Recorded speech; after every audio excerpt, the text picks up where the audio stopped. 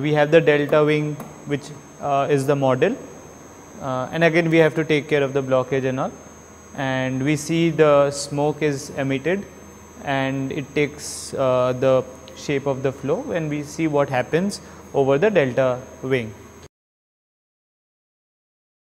Uh, here we can see uh, the uh, primary vortex that is forming. Now that happens up to a certain downstream location.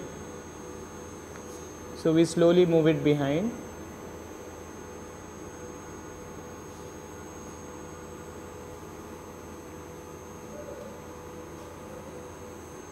Yeah, so here we don't we have uh, the we we don't have a vortex uh, breakdown as such, but as we move towards the trailing edge, we see here the breakdown starts, and so the basically the core uh, the core cannot sustain itself and it bursts.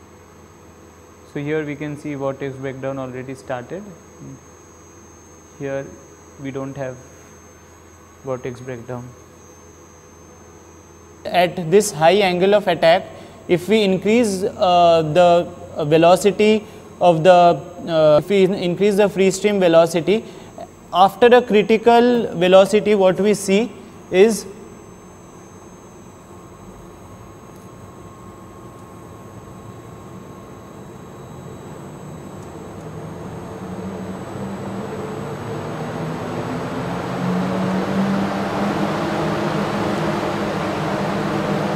So, after a critical velocity what we see that the wing starts rocking.